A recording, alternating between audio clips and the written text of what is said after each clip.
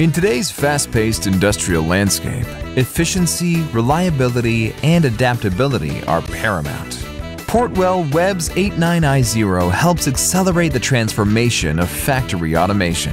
Webs 89i0 is a compact and robust DIN rail embedded system powered by the Intel Celeron J6412 processor, which delivers exceptional performance and low power consumption. Webs 89i0 is ideal for various applications. With its palm size, rugged, and fanless design, Webs 89i0 ensures stable operation in harsh or space-limited environments, such as factory or outdoor applications.